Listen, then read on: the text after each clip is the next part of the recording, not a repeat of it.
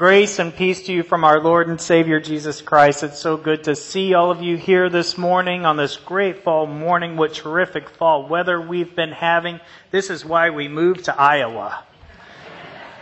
We have a huge celebration today with the family in the church, and I didn't ask them first, but it's in the newspaper, so I'm just going to embarrass them.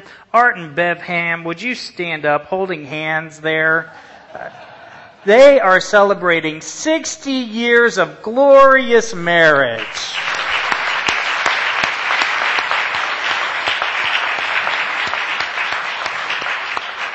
If I had a glass, I'd ding it like that so that you'd have to give her a kiss. Huh? Oh, oh yeah. it's a holy kiss we have some other announcements today. A couple things going on in the life of the church. We're having a Bible study uh, every Wednesday morning at 9:30. It's called um, uh, what did I call it? Something about spilling over the Bible. Uh, Wednesday morning coffee with Sunday sermon, and it's where we talk about the scriptures that I'm going to preach on the next Sunday. And we get really deep into the, a lot of the things that don't make it into the sermon. And since we're going through the Old Testament this fall, we're, we're covering almost uh, every story as we move along. So it's a great survey of the Old Testament. And so you can join us for that on Wednesdays at 9:30.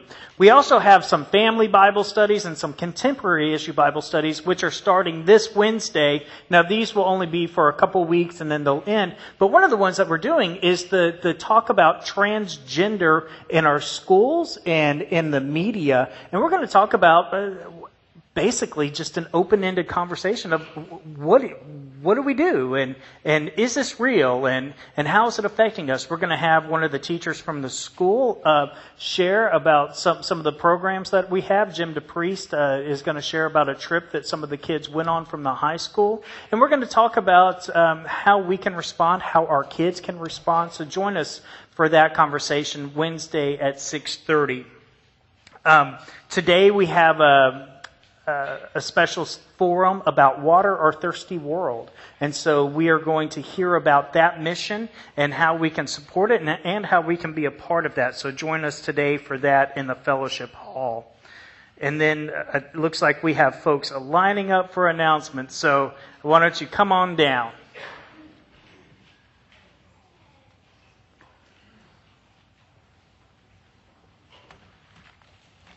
When the youth were at the Heifer Global Village this summer, the staff of Heifer reminded us that in the same passage where Jesus said, I was hungry and you gave me something to eat, he also said, I needed clothes and you clothed me. And whenever you do this for the least of these, my brothers and sisters, you do it unto me. And the Heifer staff introduced us and challenged us to take up that responsibility through a ministry called Little Dresses for Africa, where youth, churches, individuals can um, take this aspect of discipleship and help to clothe little girls in Africa. And they do it through such a simple process where you start with pillowcases and then, thanks to the efforts of Janet Cermak, I have some examples. Oops, excuse me. You make little dresses like this that are simple and colorful and that don't have things like zippers and buttons that could break or need repair. Here's one that just has the addition of a pocket to it. And we have one other, all from pillowcases. I'm, I'm not a sewer, but I think I might be able to cut out the armholes and cut some elastic and cut little squares for, uh, for pockets. The youth are going to be, uh, we learned about Little Dresses for Africa last week. This Wednesday night, youth group is going to be at the um, at the family nutrition and sewing classroom at the middle school where we have a dozen sewing machines uh, where we can uh, make dresses. Uh, I do need some adult help for this. Uh, Janet, are you able to be there Wednesday night? I think so? Possibly. If I could have some other adults who know how to operate a sewing machine, uh, that would be helpful. Um, uh, Tia is going to feed us supper at the middle school at 6:30, and then from 7 to 8 we will be sewing. And so, if you could join us in this progress, this um, this project, please see me after church. That would be wonderful. Also, you can help by uh, on Monday or Tuesday if you have some pillowcases, bright, colorful ones in good shape uh, that you no longer use that you would want to donate to the project, you could donate your used ones, buy some new ones, and drop them off here at the church on Monday or Tuesday. Or uh, we do need to purchase some bias tape and some elastic. If I give this basket to Piper after church, uh, you could, um, if you want to make a contribution to the purchasing of a few supplies that we need to, that would be greatly appreciated. And I will also have some instructions for the little dresses for Africa if you want to uh, check to see if you have the appropriate things to donate. Uh, or if you want to see if you have the skills required to help, take one of these little instruction sheets from me. Thank you so much.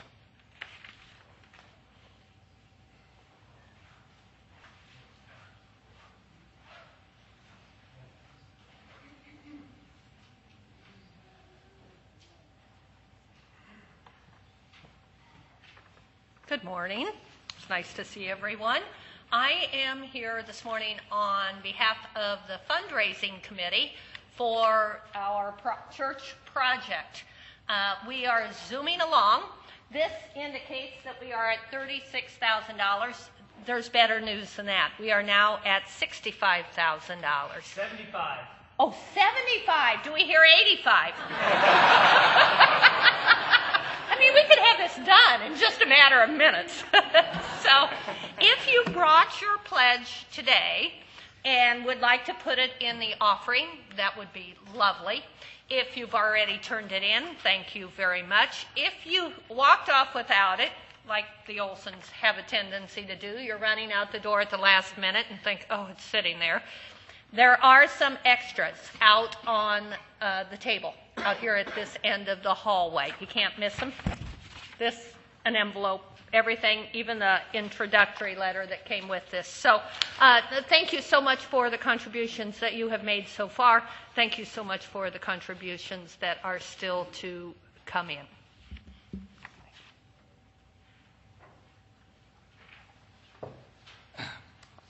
Good morning. I just want to take a minute uh, to draw your attention to the insert in the bulletin, uh, Create a World of Peace. This is in reference to World Communion Sunday, which will be next Sunday, October 4th. Um, so, what is World Communion Sunday? Well, it's, uh, it's really uh, uh, a way for the Presbyterian Church in the world to reach out to the world and try and do mission throughout the world in, in the name of peace. And if you read through this, this insert, it's a very good infer, insert. It talks about risks to the peace around the world uh, and, and, and how this money can, can be used. Um, so, you know, when we talk about the obligatory pray for world peace, you know, and when you add that, you tack that on at the end of your prayers. This is how God is reaching out, is through things like this. This is how we try and accomplish that. So I would just ask you, ask you to give next week for that. Thank you.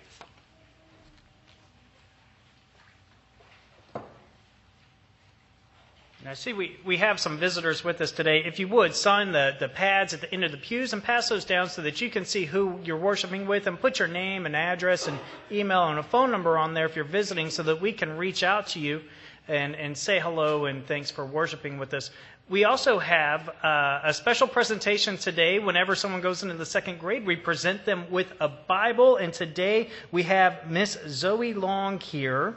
Uh, to receive her Bible. She's the granddaughter of Mary Murphy, and uh, Luann Martin is her mom, and, and her and her stepdad is here, and, and we are so glad to, to have you here and to present you with this Bible. And and Martha is gonna gonna talk.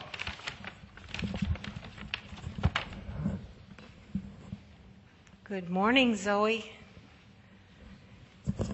This is a deep blue Bible. Once you look inside, have you look in that? It's got it's different from Bibles you may have seen before. This is made especially for children, but big people can look on them too.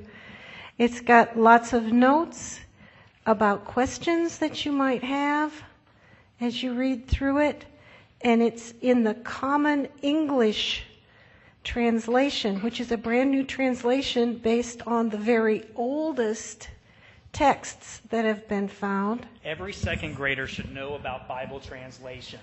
Yeah, yeah, yeah. But the very the start of the book is about from the very beginning all the relationship that God has had with people. The back of the book is about Jesus. And I hope you have a good time reading that, okay? Thank you. Blessings, and, and so glad to see you. Where you want to shake my hand, may God bless you. Thank Yeah. you. Thank you.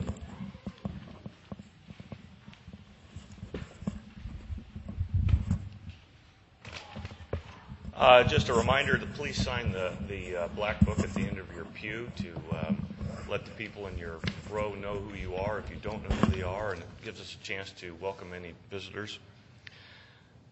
Would you please stand and join me in the call to worship?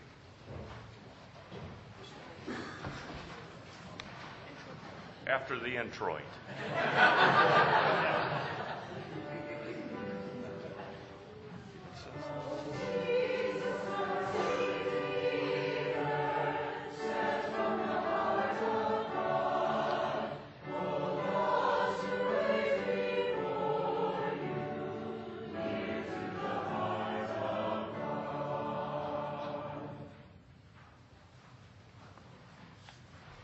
Okay, would you please join me in the call to worship? We come to worship to be close to the one whose heart is our home.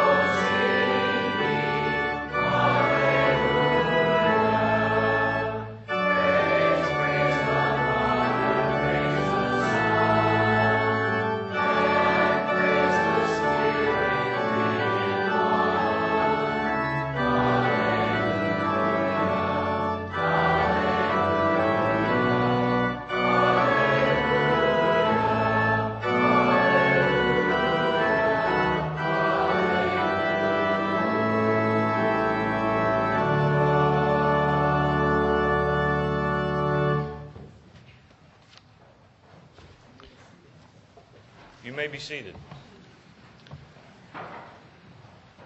We have our habits of running from the truth, but at some point we must wrestle with our choices. Let us confess our sins before God and one another. O oh God, you meet us on the road of daily living. Our journeys have changed us.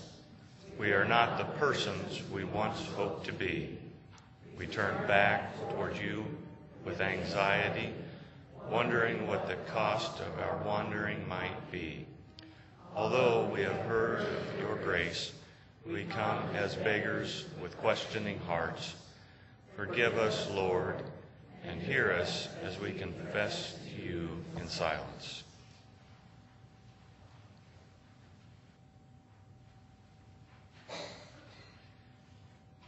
It may be that we wrestle more deeply with our sins and our turning away than God does. We bargain only with ourselves, fighting for a blessing that is offered freely.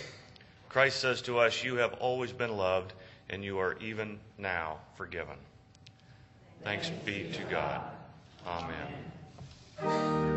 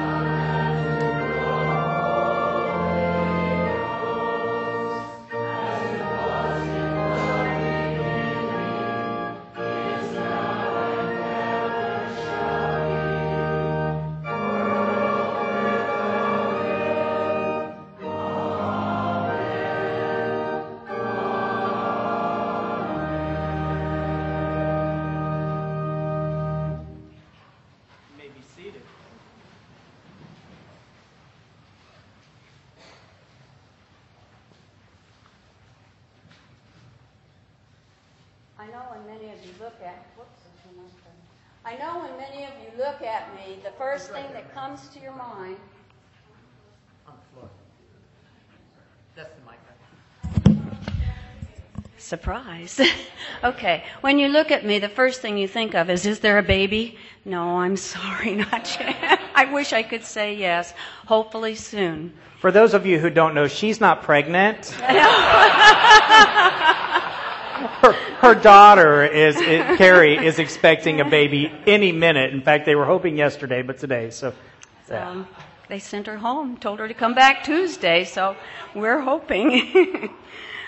Some years ago, you may, those of you that were here may remember that we started giving two cents for every meal that we eat to a concern in um, usually South America or Africa. And that two cent a meal we found would feed somebody there. That's very little when we think of how much it costs to feed ourselves. As time went on, um, we have community services here in town that provide the food that's needed for people. And so we decided we would partner with them. And so the money that you give for today or at the end of every month is to help feed the hungry in Henry County. And each quarter, the deacons send a check to community services and to the fellowship cup uh, for food and needs that they might have. So, like I said, while two cents is very cheap, give generously.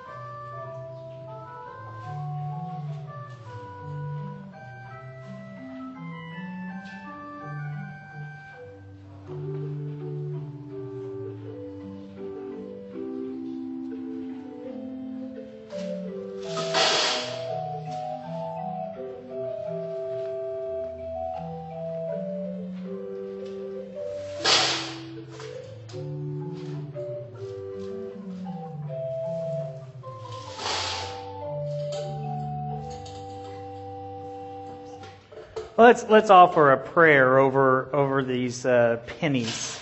And you know what? It's not just pennies. There's some stuff that crumbles in there too. It, we we like the kind of change that jingles, but the kind that crumbles is preferable. That's from the movie Coming to America. Remember that? Uh, so here, stay here. You want to help me pray? Yeah, so it's good to ask God's blessing so that these things grow and provide more and more. One of my favorite little stories is about the little engine that could, and they chug along and chug along, and then all of a sudden they make it. And this is just a little chug, little chug, and we're going to find that one day we're going to make it, and all God's children will be will be fed. So let's let's pray.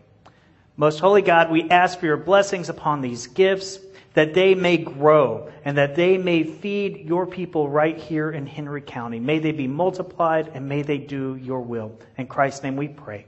Amen.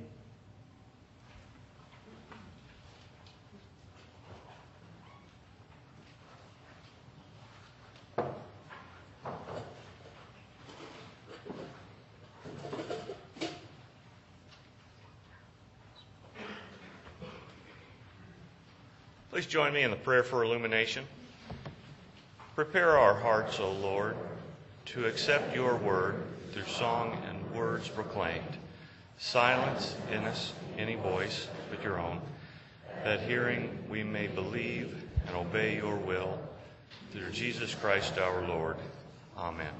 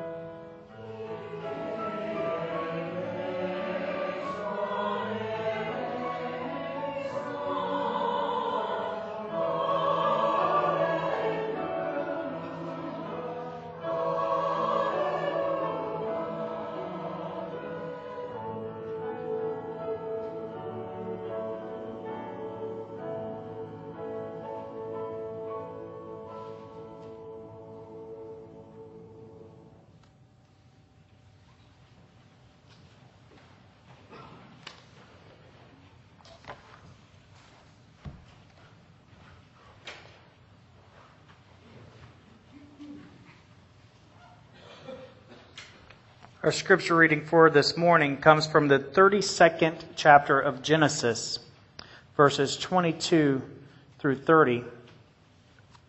Listen now for these words from our Lord.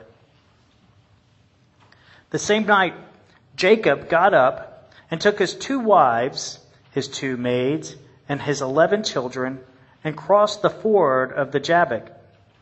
He took them and sent them across the stream, and likewise everything that he had. Jacob was left alone, and a man wrestled with him until daybreak. When the man saw that he did not prevail against Jacob, he struck him on the hip socket, and Jacob's hip was put out of joint as he wrestled with him. Then he said, Let me go, for the day is breaking. But Jacob said, I will not let you go unless you bless me. So he said to him, What is your name? And he said, Jacob. Then the man said, You shall no longer be called Jacob, but Israel. For you have striven with God and with humans and have prevailed. Then Jacob asked him, Please tell me your name. But he said, Why is it that you ask my name? And there he blessed him. So Jacob called the place Peniel, saying, For I have seen God face to face, and yet my life is preserved. The words of our Lord. Thanks be to God. Let us pray. Most holy God, may the words of my mouth and the meditations of our hearts be acceptable unto you, our rock and our redeemer. Amen. So this fall, we are moving through the Old Testament from Genesis to the prophets, from the fall of Jerusalem to the return from exile. We started a couple of weeks ago with the Garden of Eden. Then last week we heard about Father Abraham and his wife Sarah and how they wanted to have a child, and then Sarah gave birth to Isaac. And today we meet again for the first time Isaac's son, Jacob. Jacob became Israel, that great nation for whom world policymakers still tiptoe. But before Jacob was renamed, he was a big heel. Literally, that is what his name meant. Heel, or supplanter, or usurper, or one who was devious. From the day of his birth, he was a trickster, grabbing and scrambling, figuring the angles to outsmart his brother and take over his birthright. Indeed, he even bargained for Esau's, his twin brother's birthright for a cup of soup. For a cup of soup. And later, later, after Esau got so mad that he was going to kill his brother, Jacob went and lived with his even equally devious father in law, with whom he always jockeyed for an economic advantage. So you can bet that if the banking business had existed in his day, it was actually forbidden by uh, Hebraic law in that time. But that's another sermon when we get into stewardship campaigns. But if the banking system did exist back then, Jacob would have been the guy who was packaging der- derivatives and collecting those sweet executive bonuses. If Jacob was here today, he would have been an engineer at Volkswagen. Too soon?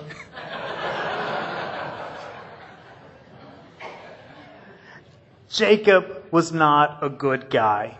Even come out, coming out of the womb, he was pulling back his brother's leg so he could get ahead. And then at that one point, he went too far. Jacob stole his father's deathbed blessing from Esau. And Esau had enough. He was going to kill his brother like Cain.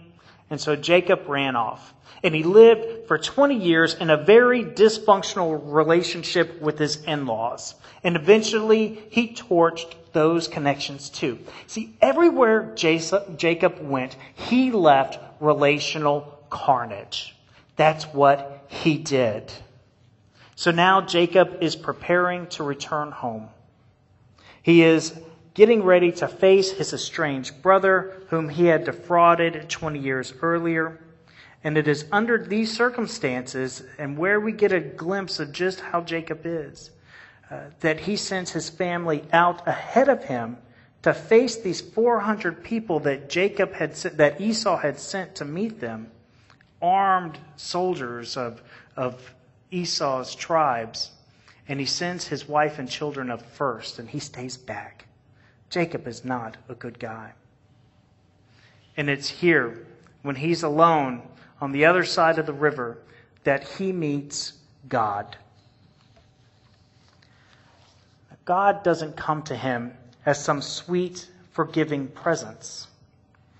Rather, under the cloak of darkness, God comes as a mysterious adversary, appearing from nowhere to accost Jacob in a wrestling match. Now, some say, some say that it could be said that this is not God at all, that Jacob wrestles with because we don't actually know. It just says a man. The word in Hebrew is a, a being. Some say it's an angel. Uh, there's this great little comic strip that says, and, and the Lord God, the angel of the Lord said to Jacob, why, why is thou hitting thyself? And it had the hands of the angel uh, making Jacob hit himself.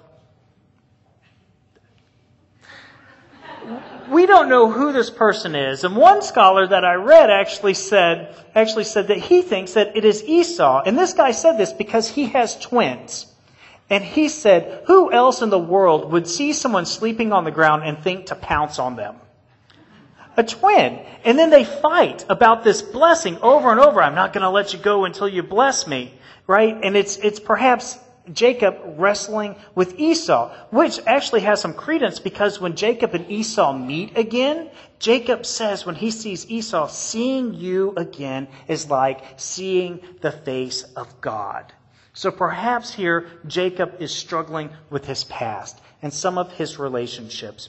We don't know. But what we do know is very literally in the next sentence after the wrestling match is over, Jacob does say, I have seen the face of God. And so, if we consider that this was God that Jacob was wrestling with, my question then becomes what kind of God would let a wretch like Jacob win? I mean, God could have tossed him off at any given minute. He could have just walked away, but he didn't. God stays all night, and God even gives him a little tag in the hip that lasts forever to let him know uh, that this is a piece of humble pie. I could have done this any minute. But God stays there all night. I like this quote from Walter Brueggemann. It says, What kind of God is it who will be pressed to a draw by a man like this? And he answers his own question. It is the kind of God who wants a relationship with us. Have you ever seen a mom or dad wrestle with their child and let them win? We see it all the time where grown-ups let kids win. This is a parental quality that we see of God. Now, I did have an uncle, and this is important to know. I did have an uncle who would never let us win at anything. This was the kind of uncle who cheated at Go Fish with a five-year-old. He was like Jacob. But really, this story is about God. Here we see that fatherly parental quality of God. It reminds me of my junior high years with my dad. See, my dad is, is still and always will be just a little bit bigger than me, and, and sometimes, uh, I guess, just like a, a grandmother is always stronger uh, than her sons, right? A, a, mom is always stronger, even if she's five foot nothing and the son's six foot two, she can still pin them with just a look. And, and that was kind of my relationship with my dad. But in junior high, I'd started playing football. And I'd started running every couple of days. And I was getting in pretty good shape. And uh, apparently, I had some natural hormonal imbalance of big headedness. every teenage boy acquires this. Now, since I could remember, my dad and I would wrestle. And uh, when I was really little, my dad would let me win. And sometimes he would just roll me on top of his chest and say, Oh, you got me, you got me, you got me, you got me. And, and when I pinned him down, he, he, would, he would say, You got me. And then the trick was uh, to punish him then with a wet willy. That is what you got when you got pinned. We learned that from my uncle. So I would, I would pin my dad on the ground and, and try to give him a wet willy. At what, at which point the wrestling match was over, the playful part, and off the kid went. Dad won. There was no wet willy. Uh, and as I got into my teenage years, the wrestling matches took on a little bit more meaning. My dad wouldn't give in so quickly. He was still playing, but I would get serious. And I would start wrestling a little bit harder, and I would exert a bit more force. And then he quit letting me just win. He would make me work for it. I had to earn a pin. Well, the fighting got really tough after I'd have him pinned. I would think that I'd done a good job because he made me earn it, and then I'd have him down, and I would go to deliver the punishment. At what point, at which point I would be easily tossed aside, right? And it was over. But there was this one time. There was this one time where I got my dad pinned. I had him down, both arms on the ground. I put my knees on his arms. I was sitting on his chest, and I had my legs wrapped around his legs. He could not move. I had him down good, and I got the punishment ready.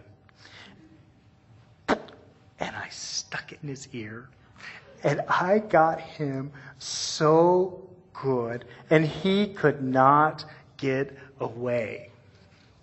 The problem was, he loved it.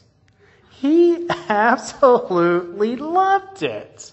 And I look back and I realize my dad at any point could have just ended any one of those wrestling matches. But the thing was, he wanted to do it. It was a rite of passage. It was a, a blessing to do that together. And you know what? He was doing it with me. It was about the relationship, about a chance to do something with his son. And I think this is partly what's going on with God. God wanted to wrestle with Jacob. He wanted to have a relationship. And God continued to desire that relationship. And we see this by God renaming Jacob Israel, one who strives with God. God wants us to strive and to not give in. But more than that, God wants a relationship with us, which is, after all, why he sent his son Jesus and named him Emmanuel, God with us. And so here is a little bit of good news. If we find ourselves constantly wrestling with God and never feeling blessed, if we find ourselves struggling with God and never finding a win, if we can never let our guard down and simply enjoy the relationship with our Creator, with the Spirit of life, then perhaps we are not wrestling with God. Perhaps we are wrestling with ourselves, with our past, with an old twin, with relationships, with a future, with an illness. Perhaps we are often wrestling with ourselves. And here is a great haiku that I found early in the study for this text. If you don't know what a haiku is, it's a little poem, a Japanese poem that takes two points that are opposites and makes them the same almost, uh, a paradox or a contradiction. And it does it with 17 syllables five in the first line, seven in the middle line, five on the last line. And here is the haiku that I have been praying with. It says, I have been wrestling. I think it is with my God, but it is with me. My prayer is that we may be set free through Christ and find victory from our struggles and God's relationship with us. In Christ's name we pray. Amen.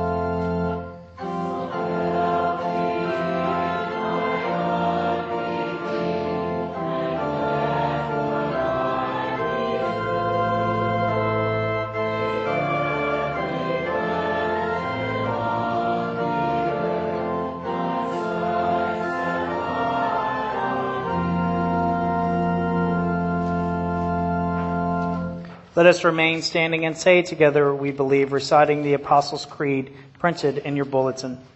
I believe in God the Father Almighty, maker of heaven and earth, and in Jesus Christ, his only Son, our Lord, who was conceived by the Holy Ghost, born of the Virgin Mary, suffered under Pontius Pilate, was crucified, dead, and buried. He descended into hell. The third day he rose again from the dead. He ascended into heaven and sitteth on the right hand of God the Father Almighty. From thence he shall come to judge the quick and the dead. I believe in the Holy Ghost, the Holy Catholic Church, the communion of saints, the forgiveness of sins, the resurrection of the body, and the life everlasting. Amen. You may be seated.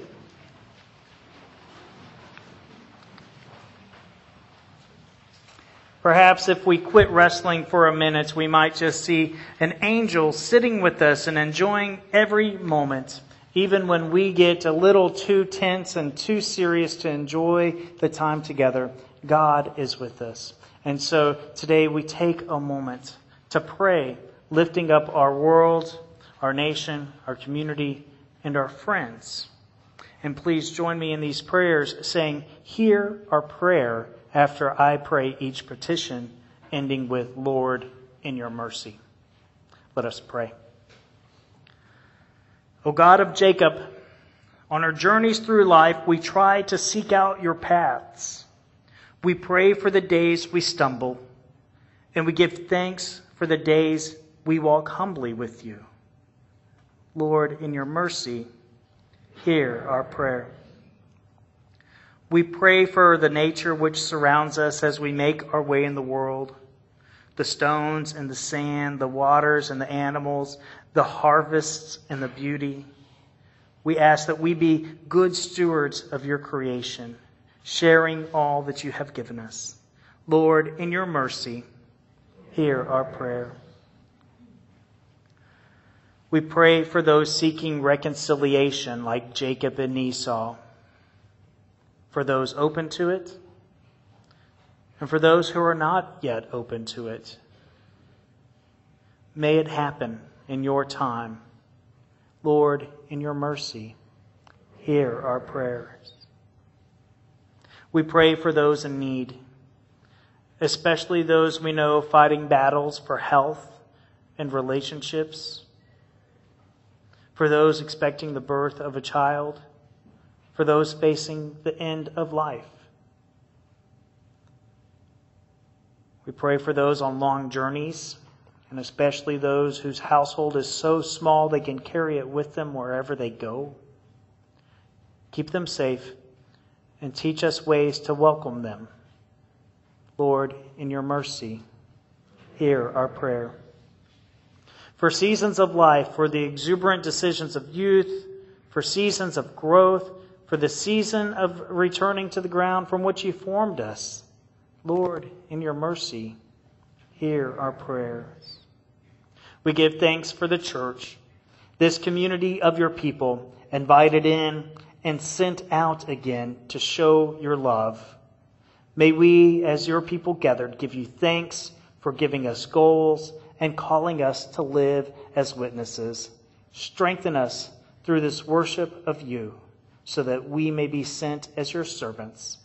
Lord, in your mercy, hear our prayers.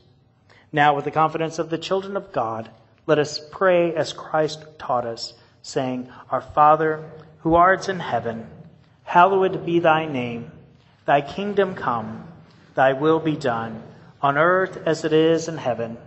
Give us this day our daily bread, and forgive us our debts as we forgive our debtors. And lead us not into temptation, but deliver us from evil. For thine is the kingdom, and the power, and the glory forever. Amen.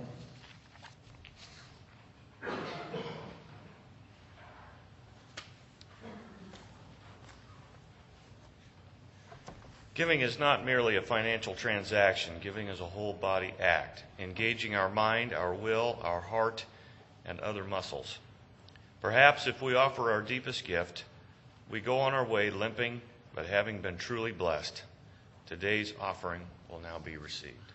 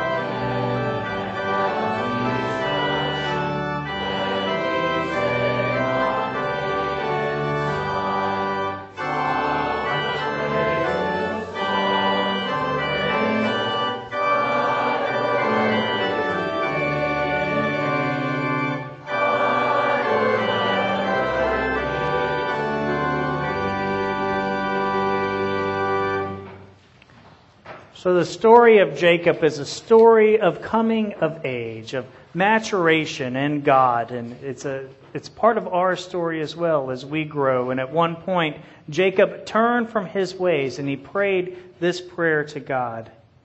He said, O God, I am not worthy of the least of all the steadfast love and the faithfulness that you have shown to your servants.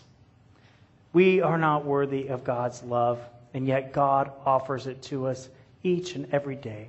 So may you know through your struggles that the God of grace is with you each and every day. Now may the love of God, the grace of our Lord Jesus Christ, and the communion of the Holy Spirit be with you now and forevermore. Hallelujah. Amen.